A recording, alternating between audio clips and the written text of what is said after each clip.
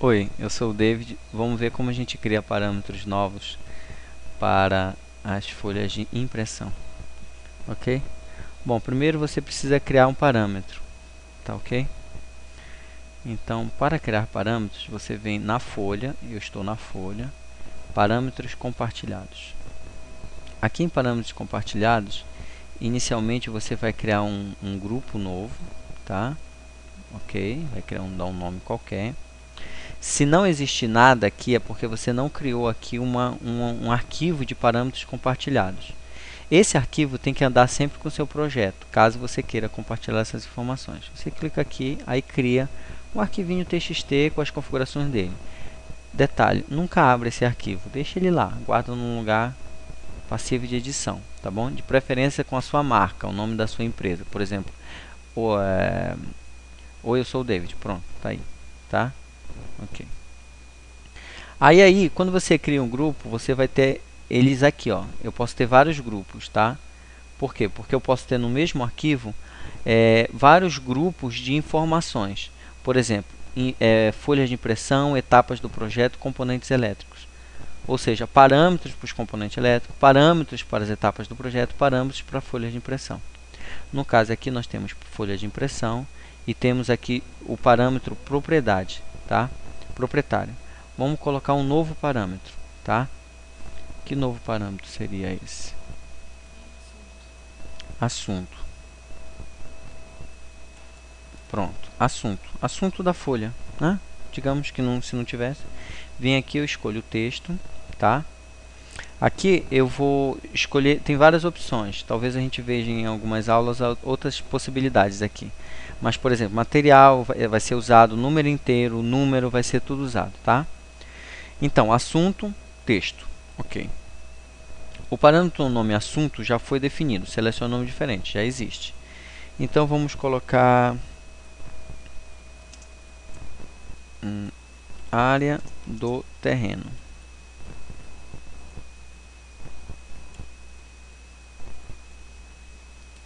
Pronto.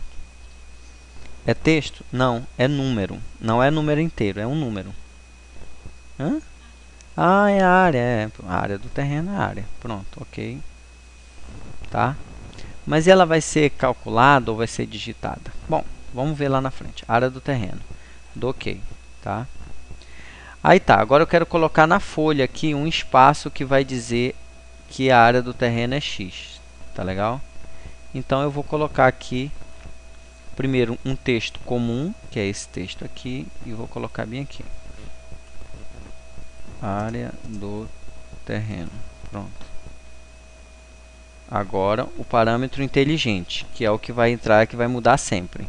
O que muda sempre, né? Legenda, vou clicar bem aqui. Pronto. Você observa que a área não está aqui, a área do terreno não tem. Você cria aqui, ó. Criei aqui parâmetro compartilhado só tem uma opção, selecionar. Aí eu venho aqui em folha de impressão, área do terreno, coloca. Pronto, ok. Aí joga ele para cá, área do terreno. Ok, pronto. Dá uma alinhadinha básica ali, tá? Esse aqui é um texto comum, ele vai se repetir. Esse aqui vai esperar o parâmetro eu jogar o valor lá, tá? Ok, mando carregar no projeto. Substituir a versão existente. Carreguei no projeto, vou jogar aqui embaixo, olha. O texto fixo, ele fica lá, mas o outro não me permite editar, tá? E ele também não aparece na folha. Procura aqui na folha, olha, não tem. Tá? Não tem. Na informações do projeto também não tem. Autor, não tem. Tá? Aí como é que eu faço? Eu sei que não tem. Eu tenho que dizer para o arquivo que esse novo parâmetro existe. Como? Parâmetros compartilhados. Folha de impressão. E ele já está aqui. Ó. Já está aqui. Tudo bem. Mas ainda assim eu tenho que carregar informações do projeto. Tá? Venho aqui. Aliás, opa, desculpa. Parâmetros do projeto. Aqui em parâmetros do projeto, ó, verifico que ele não está aqui também é aqui que eu vou adicionar esse novo parâmetro.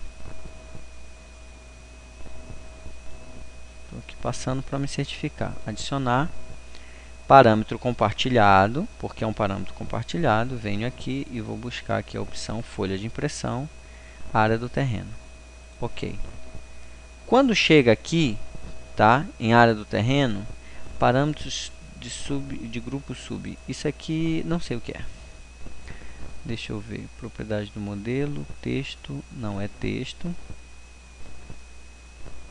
Hum, dados, dados da ah, faltou aqui alinhamento, dados de identidade.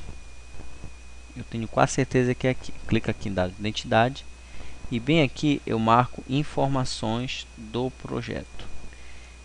Ok, eu acho que é isso. Dados de identidade ou é texto? Não tenho certeza. Vamos analisar um ou outro. Dados de identidade, informações do projeto. Ok, ele me aparece aqui. Ok. Tá? Ainda assim, aqui na folha não aparece nada, nem a edição. Tá bom? Onde que eu quero que ele apareça? Aqui, informações do projeto. Porque quando eu alterar aqui, todas as folhas que estiver usando esse parâmetro vai ser preenchido automaticamente. Informações do projeto. Área do terreno. Pronto, olha que beleza que apareceu aqui. É 2.354,45 metros quadrados. Metros quadrados. Pergunta é, vai pegar o M2? Não sei. Vamos ver. Um pegou. Pronto. Tá ok? E assim a gente cria um parâmetro e a partir dele a gente pode criar qualquer parâmetro. Tá? De acordo com a folha dele que ele precisa. O cliente nos manda a folha em, em DWG com as suas necessidades de informações. Algumas informações são informações da folha, ou seja, em cada folha vai se modificar. Essas informações são aqui, ó. Vão entrar aqui. Tá certo? São informações da folha. Tá bom? Aquele texto apareceu aqui, né? Foi proprietário, não é isso? Tá. Informações da folha aparecem aqui, tá? Informações que não se repetem por toda a folha, por exemplo, o arquiteto, não vai mudar. Não tem dois arquitetos com o mesmo projeto.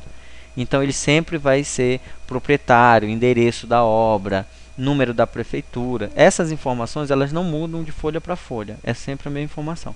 Quando for a mesma informação, é informações do projeto, ele entra aqui. Tudo bem? É isso aí, essa aula foi fantástica, essa aula é de 3 reais.